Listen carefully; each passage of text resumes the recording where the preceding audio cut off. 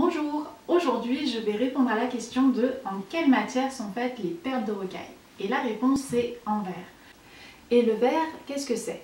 Eh bien c'est un mélange de silice euh, contenu en grande quantité dans le sable avec euh, de la soude qui permet de diminuer la température de fusion de la silice et euh, du calcium qui lui permet de protéger le verre obtenu des effets de l'eau.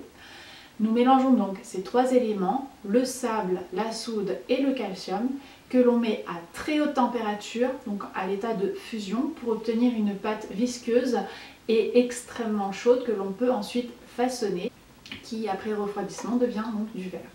Alors la particularité du verre, et ce qui est intéressant avec ce matériau, c'est de pouvoir jouer avec sa couleur, sa transparence, sa brillance. Et pour ça, on va ajouter euh, au mélange initial euh, certains éléments, comme par exemple de l'oxyde d'aluminium qui va augmenter la résistance hydrolytique, ou bien de l'oxyde de bore qui lui va augmenter la stabilité euh, thermique.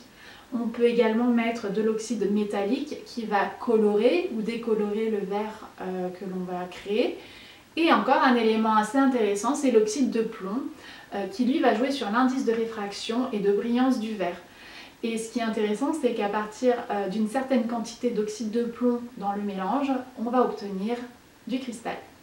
Euh, alors évidemment, le verre s'obtient euh, par l'effet de l'homme avec des mélanges que nous allons créer, mais dans des cas exceptionnels et très très rares, il est possible de trouver du verre à l'état naturel.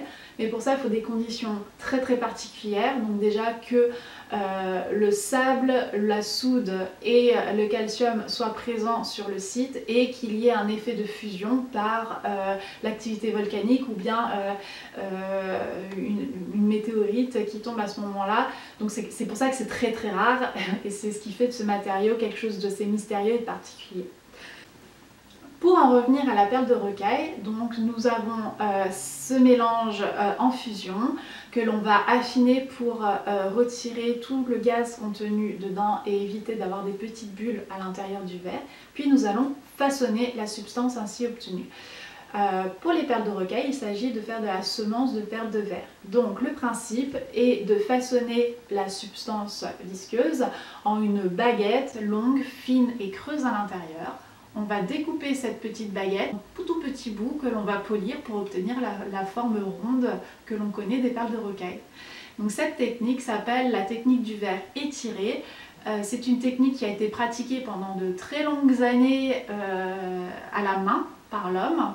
Euh, et aujourd'hui, nous avons la chance d'avoir des machines industrielles qui permettent d'en fabriquer en très grande quantité et en assez bonne qualité à notre plus grand plaisir. la vidéo se termine ici. Si vous êtes désireux d'en apprendre davantage sur la fabrication du verre euh, et ses particularités, je vous invite à aller sur euh, mon site eb-perle au pluriel.fr dans l'onglet bibliothèque dans laquelle j'ai mis toutes les vidéos et les sources sur lesquelles je me suis appuyée pour faire cette vidéo.